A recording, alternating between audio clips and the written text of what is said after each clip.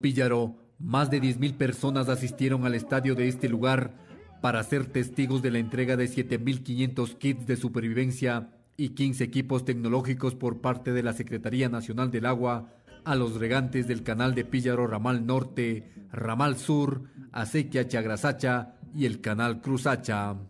Píllaro será grande con el esfuerzo de su gente. Está grande con el esfuerzo de su gente. Aquí estamos los pillareños para responder, responder a esta nueva era, a esta nueva época que demanda de corazones ardientes por la patria, como lo tienen cada uno de ustedes. Lo que hace el gobierno a través de la entidad rectora del agua es devolver a la gente lo que paga con sus impuestos, dijo el titular de Senagua.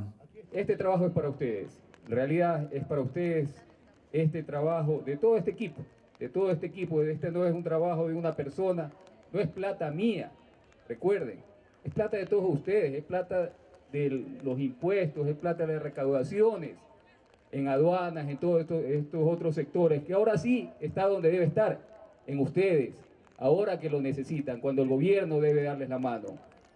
El kit de supervivencia consta de botas de caucho, ponchos de agua y un bidón de agua, material que será utilizado en el diario convivir de los regantes de esta zona.